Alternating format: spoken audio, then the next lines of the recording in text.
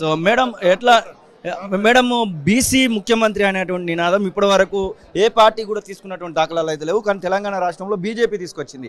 అది వర్కౌట్ అవుతుంది అంటారు ఇక్కడ? డెఫినెట్గా వర్కౌట్ అవుతుంది. ఏంటంటే భారతీయ జనతా పార్టీ ఇప్పుడు ప్రపంచవ్యాప్తంగా అందరూ గుర్తిస్తున్నారు. అంటే ఒక పెద్ద పీట వేసింది బీసీలకు స్పెషల్లీ మహిళలకు.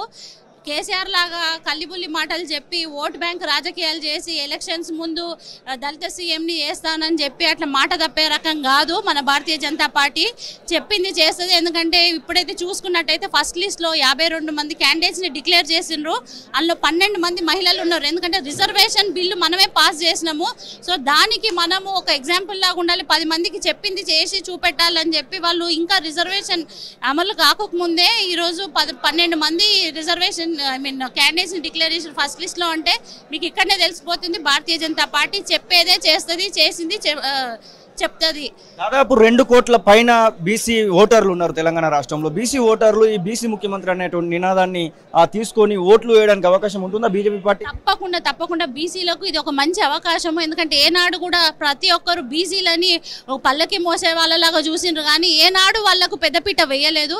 సో డెఫినెట్గా బీసీలు అందరూ ఐక్యతతోని భారతీయ జనతా పార్టీని డెఫినెట్గా గెలిపిస్తారు. తెలంగాణలో మేము బీసీల ఐక్యత ఏందో చూపిస్తాము ప్రూవ్ చేస్తాము గవర్నమెంట్ ఫామ్ చేసి బీసీ సీఎంని కూడా తప్పకుండా చేస్తాం తెలంగాణ రాష్ట్రానికి బీజేపీ అధ్యక్షుడిగా ఇప్పుడు ఒక అగ్రవర్ణానికి సంబంధించినటువంటి అతనే ఉన్నాడు. ఆ తర్వాత చాలా మంది పై స్థాయి లీడర్ కూడా అగ్రవర్ణాలే ఉన్నారు. వాళ్ళు యాక్సెప్ట్ చేస్తారా చివరి నిమిషంలో అసలు? డెఫినెట్గా అండి. ఎందుకంటే భారతీయ జనతా పార్టీ కులాలు మతాలకు అతీతంగా మనం పనిచేస్తాము.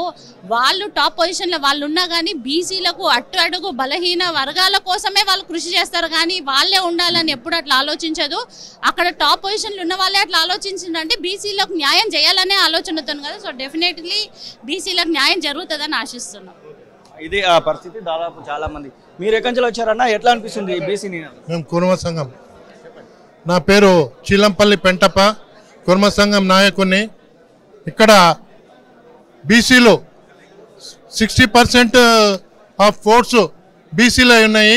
మరి ప్రతి పార్టీ బీఆర్ఎస్ పార్టీ కూడా అంతా ఓసీలకే పట్టం కడుతుంది.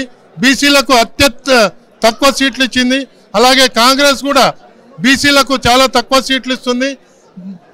మరి బీజేపీ రెండో విడత కానీ మూడో విడత కానీ బీసీలకు అత్యధిక సంఖ్యలో సీట్లు ఇచ్చేసి తర్వాత బీసీ ముఖ్యమంత్రిగా డిక్లేర్ చేశారు కాబట్టి ఛాలెంజ్గా ఇక్కడ బీసీ ఓట్లన్నీ ఏ- సమీకృతమై మరి బీజేపీ గవర్నమెంట్ ఫామ్ చేస్తుందని ఛాలెంజ్గా చెప్పగలుగుతాము.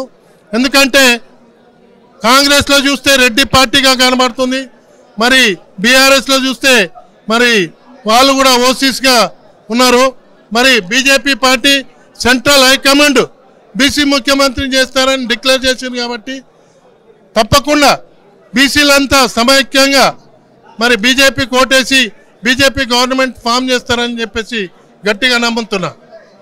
ఇది మీరు ఎక్కడి నుంచి వచ్చారన్నా ఎట్లా అనిపిస్తుంది? హైదరాబాద్ నుండి వచ్చాను సార్. నేను నా పేరు సూరజ్ కుమార్ ముద్రాజు. నేను బీసీలు బీసీలకు రాజ్యాధికారం కావాలని తెలంగాణలో బీసీలు అందరూ కోరుకుంటున్నారు. కాంగ్రెస్ తెలుగు రాష్ట్రాల్లో ఉన్నప్పుడు మొత్తం అగ్రకుర్ణాల వాళ్ళకే సీఎం పదవిని ఇచ్చింది ఒకే ఒకరు శ్రీ అంజయ్ గారు అతను దళితుడుగా సీఎం ఉన్నాడు. మిగతా వాళ్ళందరూ అగ్రకులాలకు అది ప్రత్యేకించి రెడ్డి సామాజిక వర్గానికి చెందిన వారు ఉండే. అదేవిధంగా టీఆర్ఎస్లో కూడా వెలుమ సామాజిక వర్గాన్ని అతనే సీఎంగా కొనసాగుతున్నాడు. పది సంవత్సరాల గురించా కాబట్టి తెలంగాణలో ఉన్న బీసీలు అందరూ బీసీ సీఎంని కోరుకుంటున్నారు. ఈ తర్వాత దళిత సీఎం అయినా మాకు అభ్యంతరం లేదు కానీ ఈసారి మాత్రం తప్పకుండా బీసీ సీఎం కావాలని కోరుకుంటున్నారు. తెలంగాణ రాష్ట్రంలో యాభై ఏడు శాతం అంటే రెండు కోట్లకు పైన బీసీలు ఉన్నారు. కాబట్టి ఆ బీసీలు అందరూ ఐక్యమయ్యి బీసీ వ్యతిరేక పార్టీలైన కాంగ్రెస్ మరియు టీఆర్ఎస్కి గుణపాఠం చెప్తారని నేను ఖచ్చితంగా నమ్ముతున్నారు. కాబట్టి ఈ ఎలక్షన్లో బీసీలు బీజేపీ పార్టీకి బ్రహ్మరథం ప- పట్టబోతున్నారు. అలాగే బీసీ బీసీలకు బీజేపీ పార్టీ పెద్ద ఎత్తున టికెట్ ఎమ్మెల్యే టికెట్లు ఇస్తుంది కాబట్టి బీసీ ఖచ్చి బీజేపీ పార్టీ ఖచ్చితంగా ఈ ఎలక్షన్లో గెలుపొందుతుందని నేను నమ్ముతున్నాను. ఇది పరిస్థితి. దాదాపు చాలా మంది కూడా బీసీ ముఖ్యమంత్రి అనేటువంటి నినాదాన్ని అయితే ఆహ్వానిస్తున్నాం. ఖచ్చితంగా తెలంగాణ రాష్ట్రంలో బీజేపీ అధికారంలోకి వస్తుంది. బీసీ ముఖ్యమంత్రి అయితే అనేటువంటి ఆశాభావాన్ని అయితే వ్యక్తం చేస్తున్నటువంటి కెమెరా పర్సన్ సతీష్తో శ్రీనివాస్ తొలివేలుకు హైదరాబాద్.